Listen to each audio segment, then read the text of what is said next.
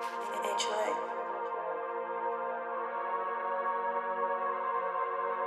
Yo, free what the hell, man?